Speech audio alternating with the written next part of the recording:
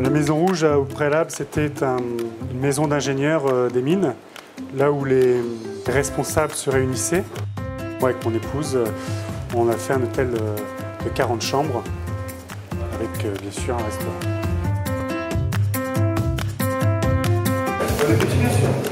Il y a deux gyrolignes gambas, trois cabillauds, messieurs.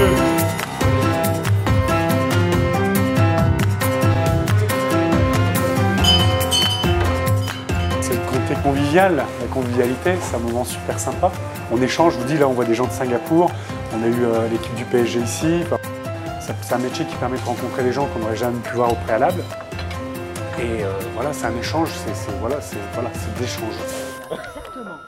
Moi, le soir, Pour les gens nerveux, il paraît que c'est très bien.